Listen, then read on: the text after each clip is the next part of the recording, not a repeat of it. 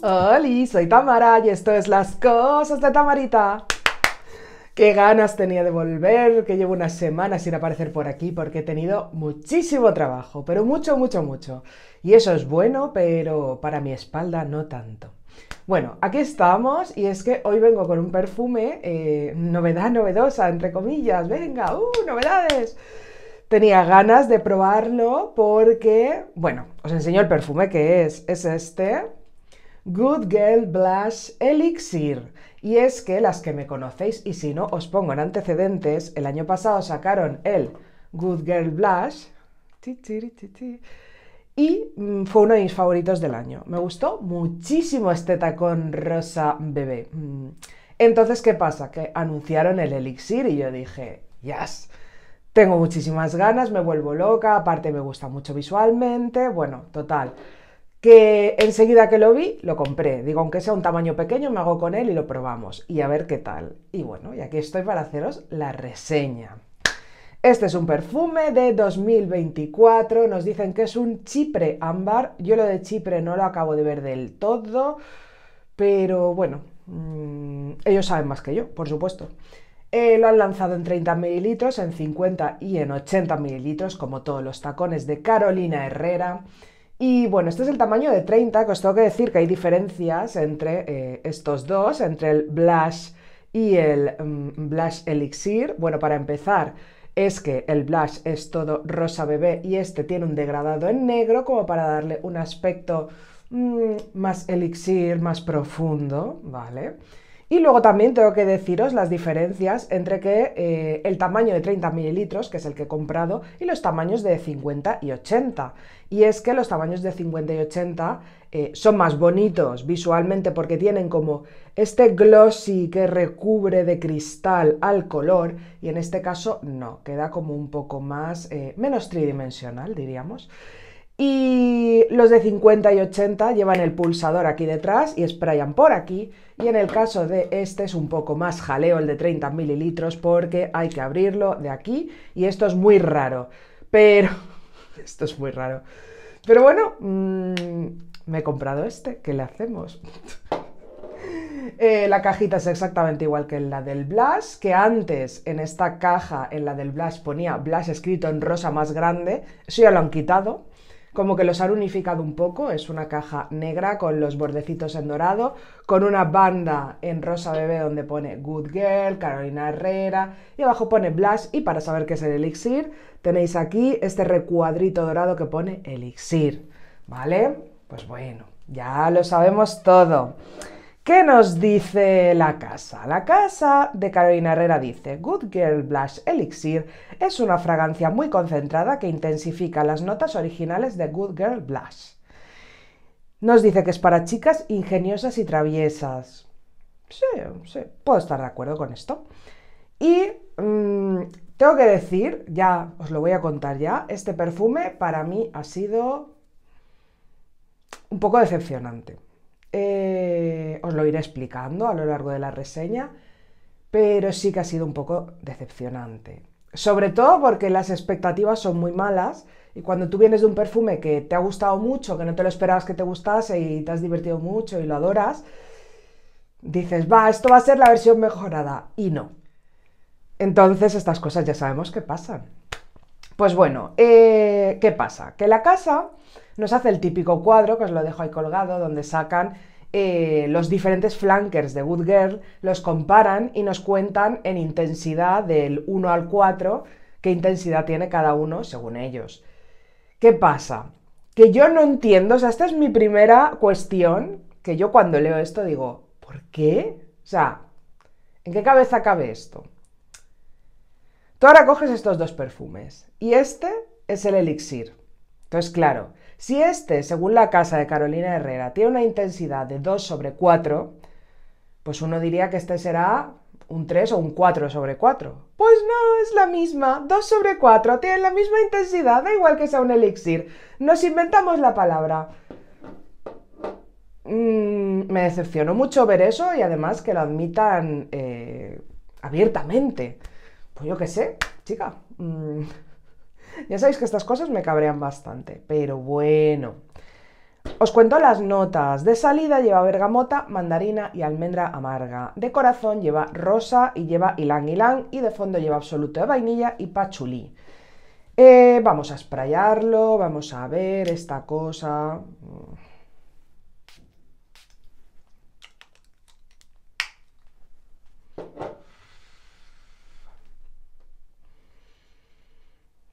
A ver, quiero que quede constancia de que pese a que me haya decepcionado, es un perfume que huele tremendamente bien, ¿vale? Una cosa no quita la otra y que os va a gustar a muchas.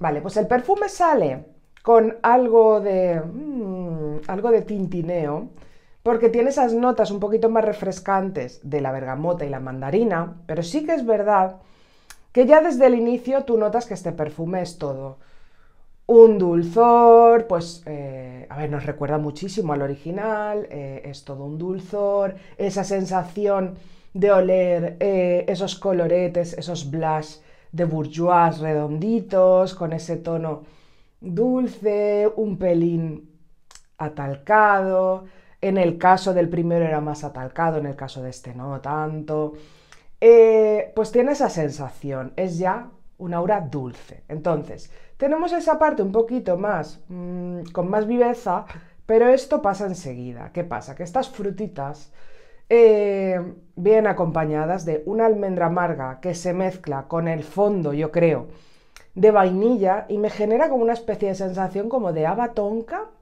aquí mezclada con todo lo que va a venir, que ya os digo que es ese aroma general, esa idea general de ese blush, de ese colorete. Vale, eh, me encanta cómo huele ahora con esa mandarina y ese poquito de bergamota. Mm.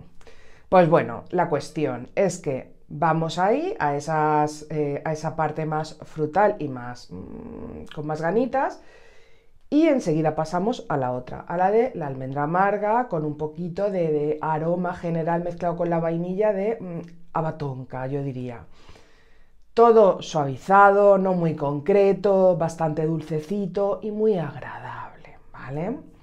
Pues bueno, eh, la cuestión es que cuando empieza a pasar eh, ese puntito, ahí tenemos un deje más atalcadito, pero es como un poco fugaz.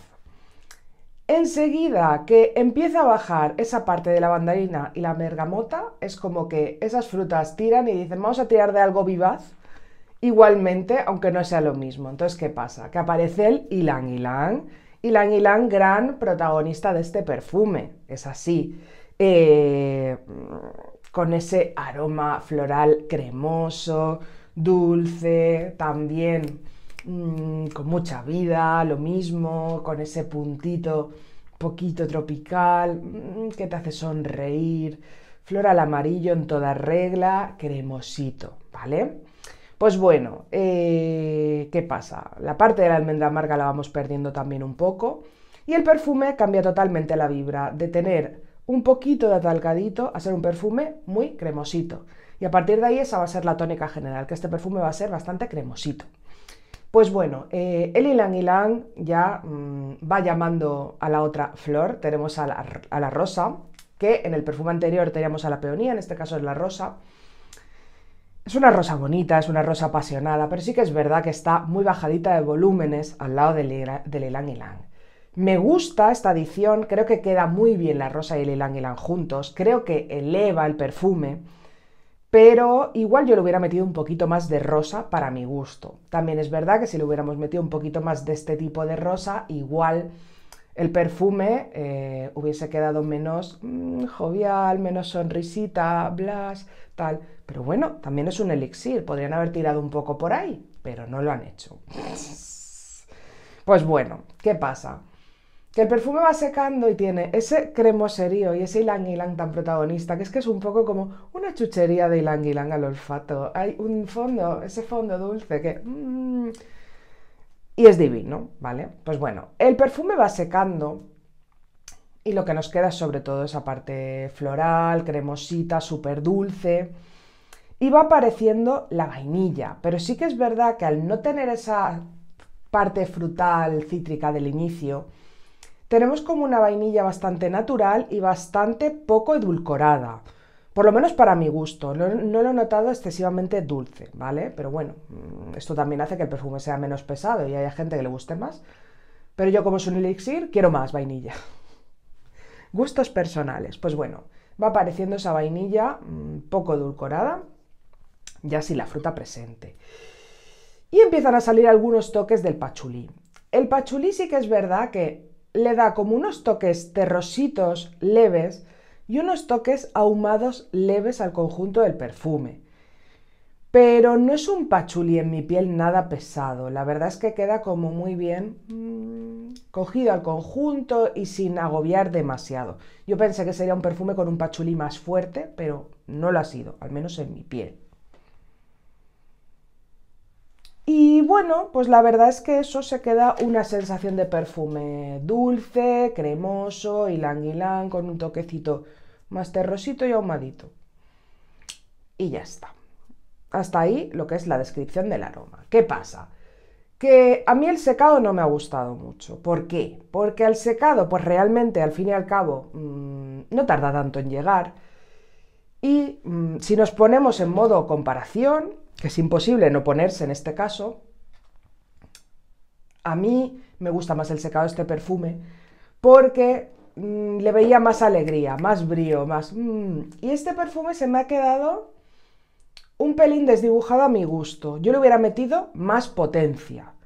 Eh, ya que es un elixir y ya que tiene, ya que se basa en los mismos fundamentos que este otro perfume, que el, que el Good Girl Blush, yo hubiese dado, pues ya os digo, le hubiera subido la rosa, le hubiera metido una vainilla muy potente, un poquito más de pachulí, o sea, jugando con que el centro de la fragancia sea ese ylang ylang y esa sensación de, de, colorete, de blush. Pero le hubiera metido un poquito más. En mi piel se ha quedado todo un poquito mm, muy agradable, muy rico, porque huele realmente bien, no perdamos esto de vista, pero se me ha quedado un poquito blandito para lo que yo esperaba, porque las expectativas son muy malas, amigas. Pues bueno, mm, vamos a las preguntas. ¿Se parece al original?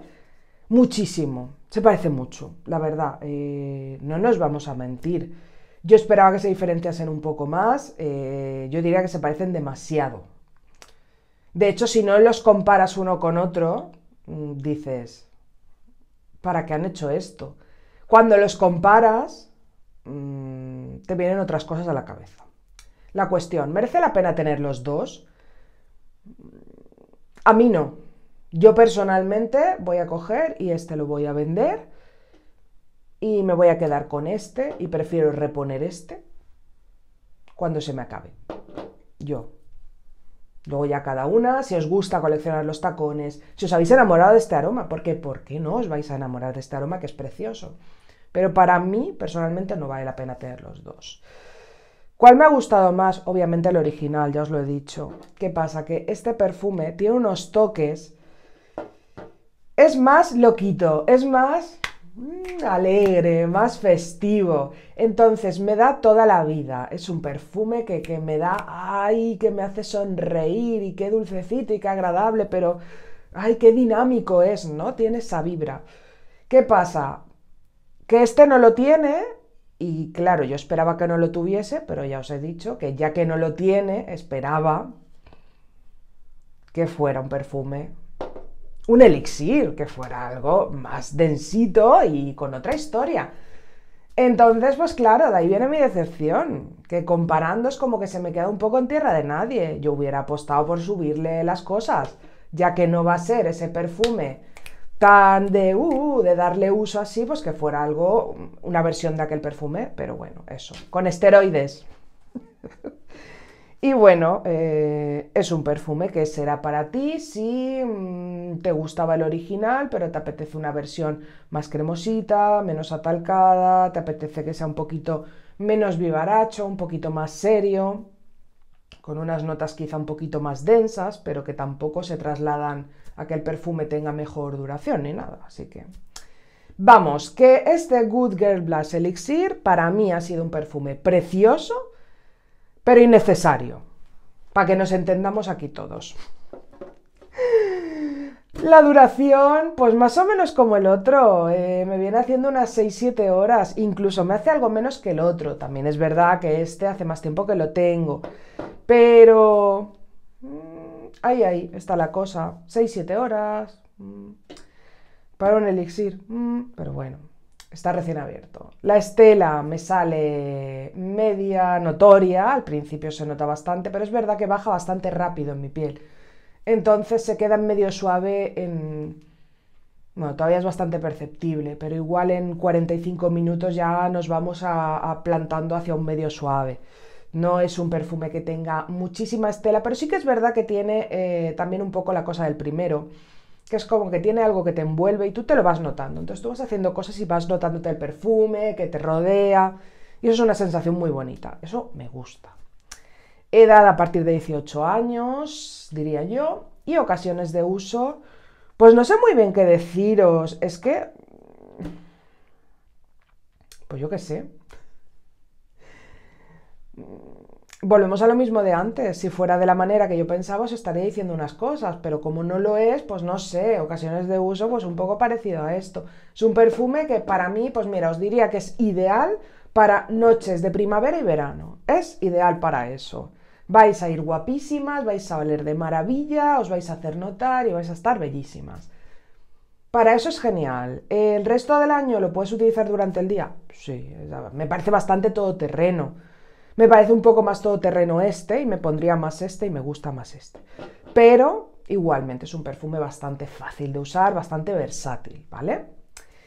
Y calidad-precio que me ha parecido. Pues a ver, están caros, eso tenéis que saberlo, que están muy caritos. De hecho, por eso me cogí el de 30 mililitros, porque no las tenía todas conmigo y está caro. Pero bueno, como todos, eh, ya os digo, para mí no valió la pena porque yo preferiría repetir el otro. Habrá gente que diga, pues me encanta tener los dos, o el otro no me acababa y este, con la poquita diferencia que hay, pues me ha encantado. Pues bueno, pues calidad-precio está ok. Mm, Un perfume más de los de diseñador que salen carísimos, recién sacado del horno, y que si compras el tamaño grande nos vamos a ciento y pico euros. Madre del Señor y madre del Cordero. Pero bueno, así estamos. Así que nada. Yo os lo dejo ahí, me contáis si lo habéis probado, eh, pero es un poco decepcionada porque son demasiado iguales y no aporta mucha cosa.